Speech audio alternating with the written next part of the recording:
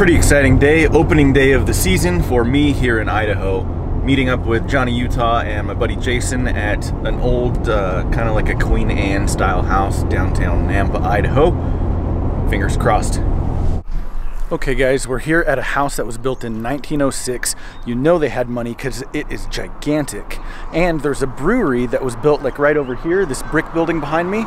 So hopefully there was a bunch of people drinking, partying, losing money, falling down in the front lawn.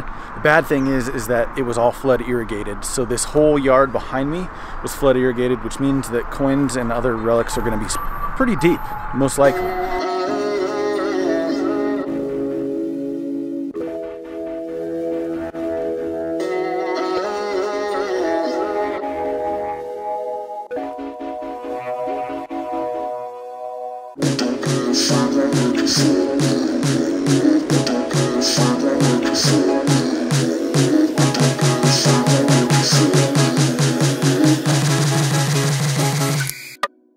down.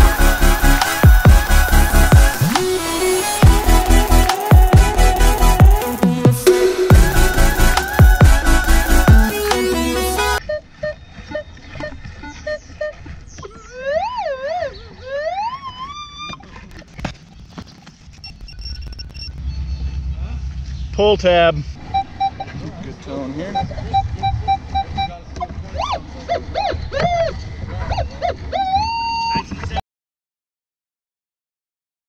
Oh, there you go.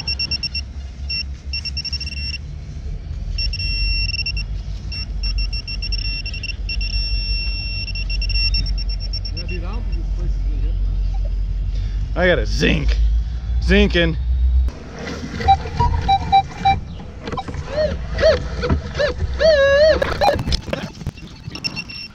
Clad dime. What? Clad dime at five? Clad dime. Ooh, yuck. It was more four or so.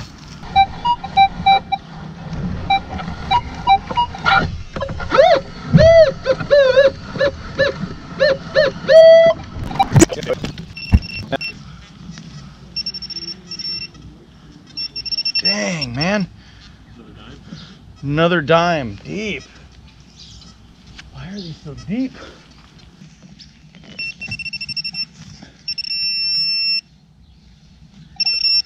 Hey, all right. Silver. We got silver in the hole. Yeah. Not old, but uh, silver. John's on the board with a wheat penny, finally. Got some time period coinage. Let's see that thing. 1945. Force is strong with this one.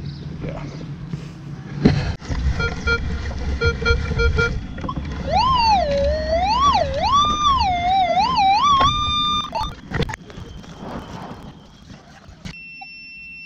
Coin. What is it? 1939. Oh, it's an older one.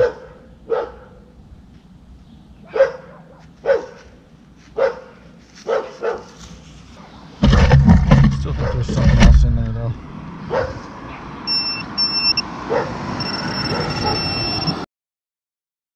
Mm, There we are. Wheat. 1941. All right, that's not bad.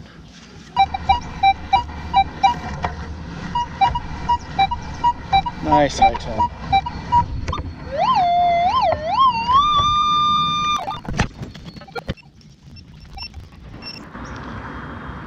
Ah.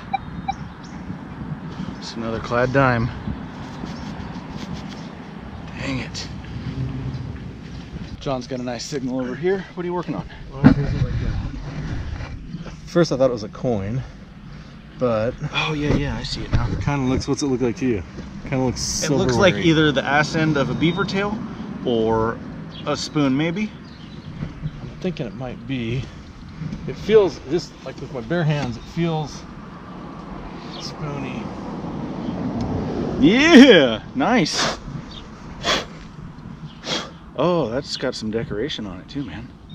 That's really pretty. So got any marks on the back?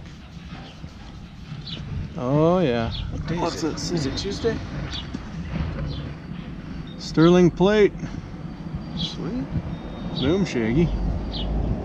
Well, get a spoon. That's awesome. Cool. Sweet find. Thanks. What are you working on? Found it. Found it.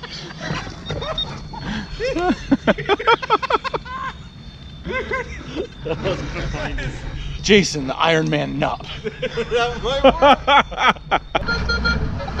Too shallow though.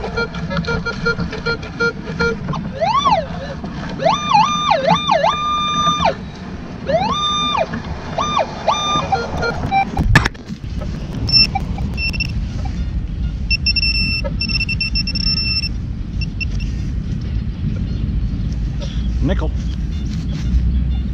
13 on the money.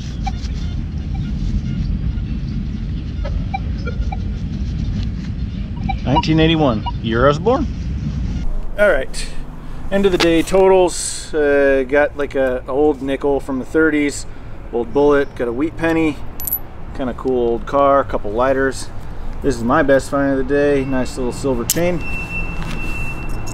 Go to the Iron Man's pile here. It's got a part of a harmonica reed. That's kind of a fun find for this. So we know that's time period. Uh, some clad gold plated ring. Uh, keychain might be silver, might be stainless, might be aluminum. I don't know. It's shiny and it's pretty. Old pocket knife. That's definitely period. Moving on to Johnny Utah's stuff here. I think this is going to be the find of the day. The uh, Pepsid gum box thing. Pepsin. Pep. The Pepsin gum. Good God. I think I just had a stroke. I think this is the find of the day. It's uh, John's find. The Pepsin gum box. We're gonna have to do a little research on this, find out what the heck that is. Eh, close second on uh, John's find again. John was using CTX today. Nice sterling plated spoon or something like that. So that was our take for a couple hours worth of detecting. Um, before we leave though, actually Jason has the keys to this place and we're gonna go take a tour. Maybe there's some treasures to be had inside.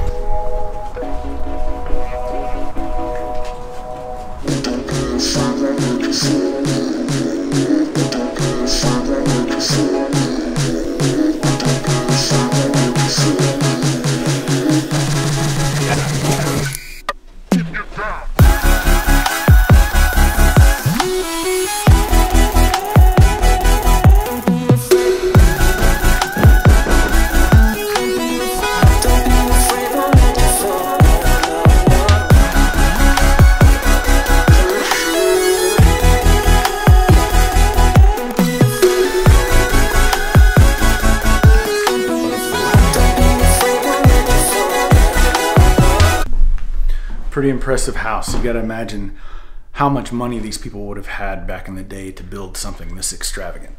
It's very cool. I'm glad that we took a look around.